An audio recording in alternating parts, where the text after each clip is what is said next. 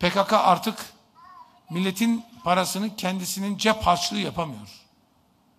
PKK ile mücadelede milleti rencide eden tüm halleri düzeltmek, terörle mücadelede evrensel hukuk kurallarına istisnasız herkesin uymasını temin etmek, bir büyük devletin temin etmesi gereken haldir.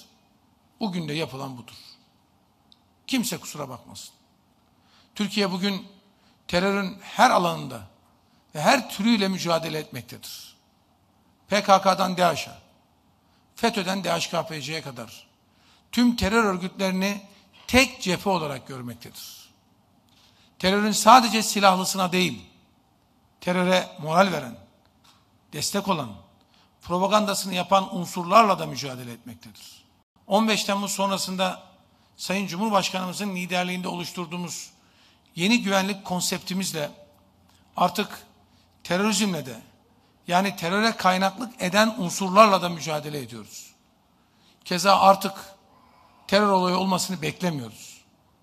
Olay sonrası değil, sürekli kesintisiz operasyon yapıyoruz. 2020 yılında 15 Temmuz'un en genç şehidi Halil İbrahim Yıldırım'ın anısına icra edilen Yıldırım operasyonları kapsamında bunlar tamamlandıktan hemen sonra 11 Ocak'ta şehit Eren Bülbül'ün anısına başlatılan Eren operasyonları 11 ayrı bölgede devam ediyor. Tüm terör operasyonlarımızda yılbaşından bugüne kadar 121 PKK'lı terörist etkisi hale getirildi. Yine yılbaşından bugüne kadar PKK'nın 26 terör eylemini engelledik. Hatta birisini de bu sabah engelledik. Dört kişi örgüte katıldı. Buna rağmen ki bunun sadece ikisi yurt içinden. İkisi Almanya'dan. Buna rağmen 35 kişi ikna yoluyla teslim oldu. 878 kilogram patlayıcı ele geçti. Bunların 42 kilogramı plastik patlayıcı. Yine yılbaşından beri 63 mayın ve EYP ile 167 el bombası ile geçirildi.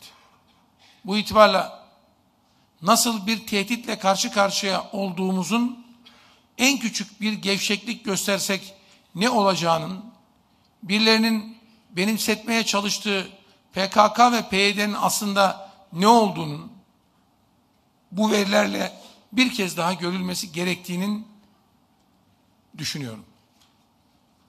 Ayrıca yine PKK şemsiyesi altında olan aşırı sol terör örgütlerinin de yılbaşından bugüne kadar üç eleman etkisiz hale getirildi.